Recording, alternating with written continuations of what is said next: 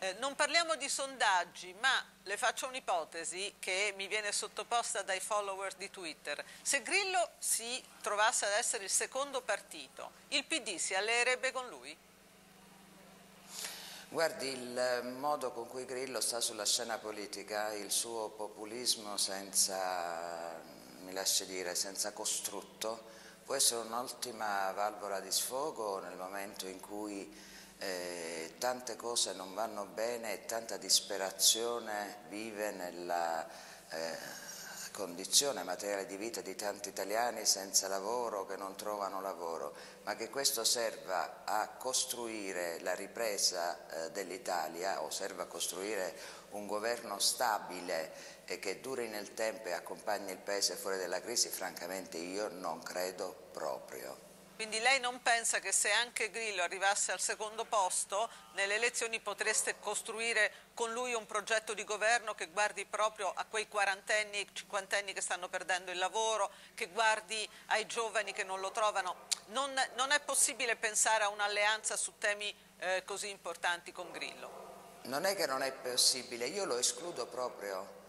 Quando Grillo va di fronte ai cancelli di una fabbrica dove ci sono decine e decine di disoccupati e promette senza spiegare come mai farà a pagarli un mille euro al mese per eh, tre anni senza dare un'indicazione eh, circa il modo con cui questo può essere fatto, io mi accorgo di essere di fronte a un populista demagogo che non solo non ha ricette per il Paese, ma usa la campagna elettorale per illudere gli italiani.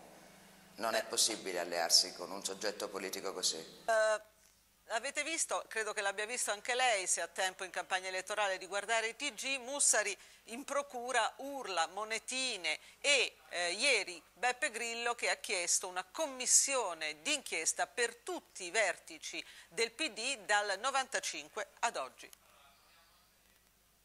Ma, francamente mi pare che la proposta di Grillo sia una proposta avventata, ma possiamo fare tutte le commissioni di inchiesta che vuole Grillo, perché tanto non si troverà niente, non c'è nessun legame tra il PD nazionale e il Monte dei Paschi di Siena, piuttosto un paese serio si interrogherebbe su questo smottamento.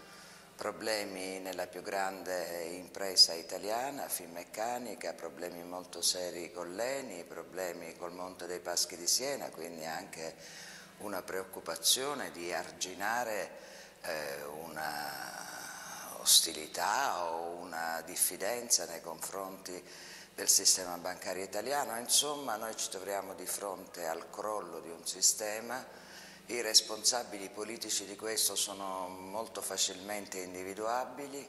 Eh, io credo che la prima cosa che dovremmo fare è una legge sulla corruzione che valga la pena di essere chiamata così e un sforzo straordinario perché il riavvio e la crescita dell'Italia avvengano nel senso e sotto il titolo della moralità, della legalità, non perché eh, dire, sia uno slogan da campagna elettorale, ma perché è un requisito della modernità di un paese. Senatrice Finocchiaro, secondo un dossier del Fatto Quotidiano pubblicato oggi, il suo partito, il Partito Democratico, dovrebbe quasi 200 milioni di euro alle banche. Intervistato dal Fatto Quotidiano, il vostro tesoriere Sposetti ha detto che problema c'è, eh, lo pagherà lo Stato. Quindi lo pagheremo noi cittadini?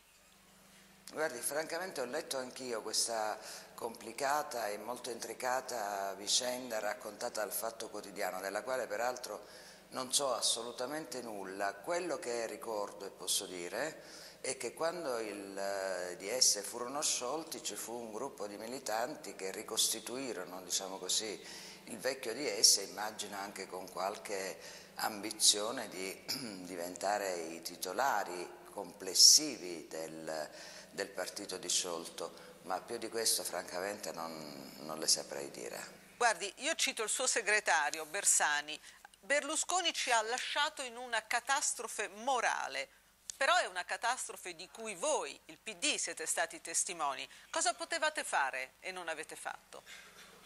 Non credo più di quello che abbiamo fatto e tanto l'abbiamo fatto bene, lo ripeto, che proprio facendo l'opposizione al governo Berlusconi siamo diventati nel voto degli italiani il primo partito del Paese, evidentemente abbiamo fatto bene quel mestiere.